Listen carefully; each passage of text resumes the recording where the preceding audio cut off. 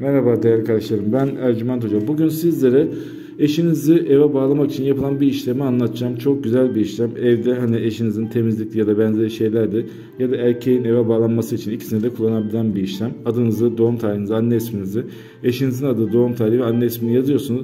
Daha sonra bu kağıdı ekran görüntüsü alıp bilgisayar çıktısı alıp evinizin etrafında bir yere toprağa gömüyorsunuz. 20-25 günlük bir süreçte de güzel sonucu Allah'ın izniyle görüyorsunuz.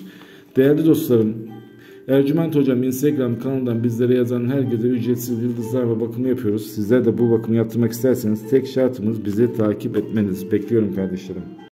Merhaba değerli kardeşlerim. Ben Ercüment Hoca. Bugün sizlere kısmet işlemini anlatacağım. Kısmet işlemi nedir? Kısmetinizin açılması için yapılan bir işlemdir.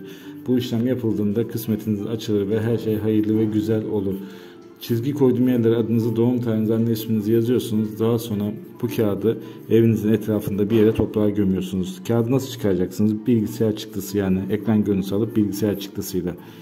Arkadaşlar Ercüment Hocam Instagram kanalından bizlere yazan herkese ücretsiz yıldızlama bakımı yapıyoruz. Siz de böyle bir ücretsiz yıldızlama bakımı yaptırmak isterseniz bana Ercüment Hocam Instagram kanalından yazabilirsiniz. Tek şartımız bizi takip etmeniz.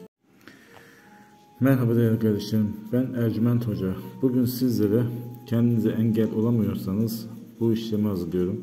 Kendine engel olamayan tüm kardeşlerim bu yazdığım yazıyı üzerine adını, doğum tarihini ve anne ismini yazıyor. Bunu yaptıktan sonra bu kağıdın ekran görüntüsünü alın. Bilgisayardan çıktısını alın ve evinizin etrafında bir yere gömün. 20-25 gün içinde her şeyin düzeldiğini göreceksinizdir. Ve ücretsiz bakım yaptırmak isteyen kardeşlerim bana Ercüment Hocam Instagram kanalından ulaşabilirler. Tek şartımız bizi takip etmeniz. Bekliyorum arkadaşlar.